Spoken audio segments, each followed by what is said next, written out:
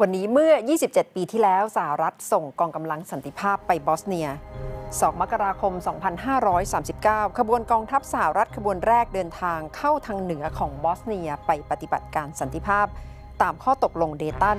เพื่อเข้าไปดำเนินการให้มีการหยุดยิง แต่ก็ไม่สามารถแก้ปัญหาผู้ลี้ภัย หรืออาชญากรรมสงครามได้